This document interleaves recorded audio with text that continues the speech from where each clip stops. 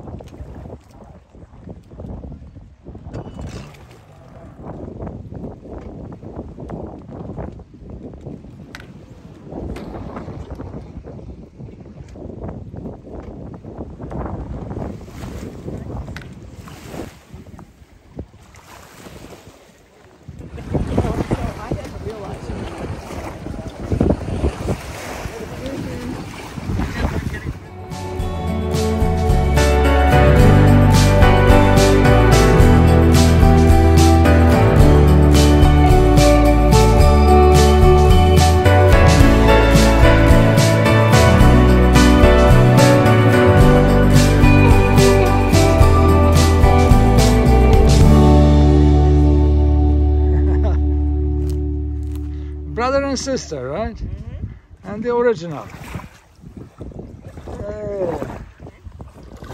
And you guys. Hello.